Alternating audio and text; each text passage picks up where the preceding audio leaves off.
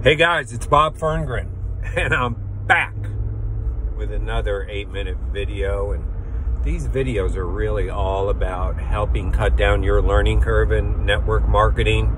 I've been in network marketing for 18 years, and uh, I did the School of Hard Knocks, meaning I wasn't an overnight success. I just never quit. And you, that, that's one of the probably the most important things you'll ever hear from me do something every day to move your business forward and don't quit.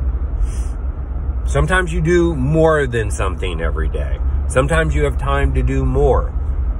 But if you do at least one thing every day, you know, whether that's a reach out, whether that's a follow up, a third party tool, a third party introduction,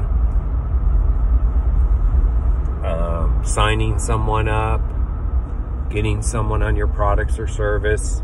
Do something every day, minimally one thing, and don't quit. Again, you also have to have the mindset if you're going for something bigger that there's a number of days in a week or a month that you have to do more, you know, because first of all, it's consistency. And secondly, you know, it's a numbers game. And when I talk about the numbers game, I don't mean it's just pure numbers. Here's the way I look at the numbers game. As you play more numbers, meaning reaching out to more people, your skill set improves. And what that means is you've grown personally. And personal growth helps you attract better people. So you initially may be getting you know, maybe two, well, let's just say one yes to look at your business or your products or service out of 10. One out of 10. Well, what do you need to do to get your, to, you know, build a bigger team, get your checkup? Well, in your case, you're going to have to talk to a whole lot more people, right? If you want to get three new people started, you probably have to talk to 30 new people. Um, but what you're going to find is if you keep the numbers up, you're growing personally. And when you're growing personally, you're able to attract better, higher quality prospects. And so now, over time, you might move to two out of 10 are yeses to eventually three out of 10. And that is the sweet spot. That's the sweet spot right there. So don't get concerned about any of that. Just be concerned that you're in some level of activity every day. And like me, you'll be an overnight 18 year success.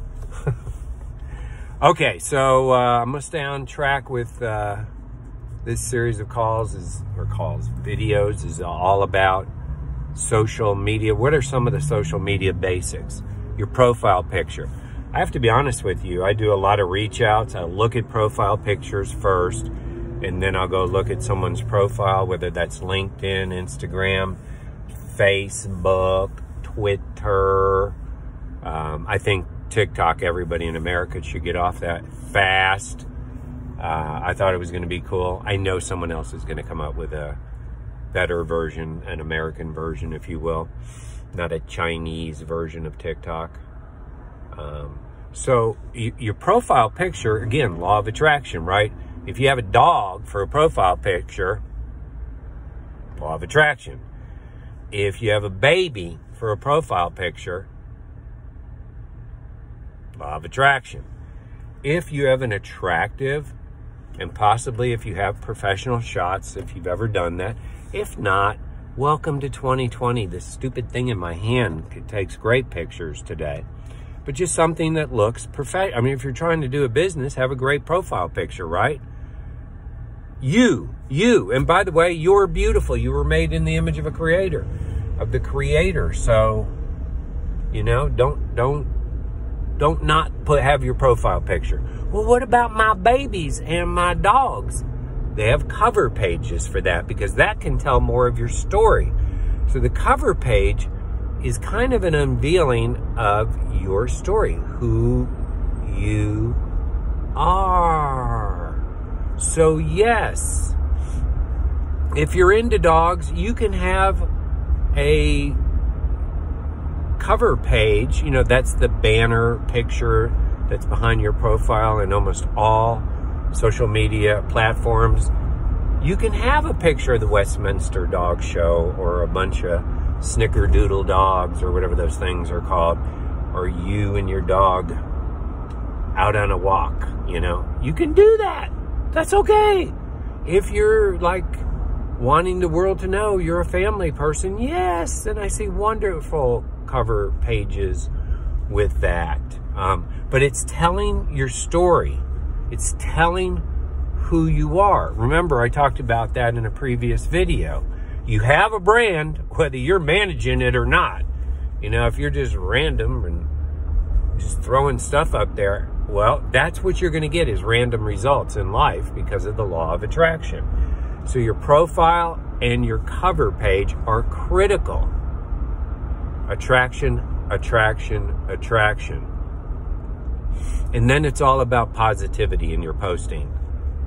I mean, you may have some negative things going on, but you can also flip that into a positive thing. Remember, successful people, we all, everyone, every, everyone goes through all the bad stuff.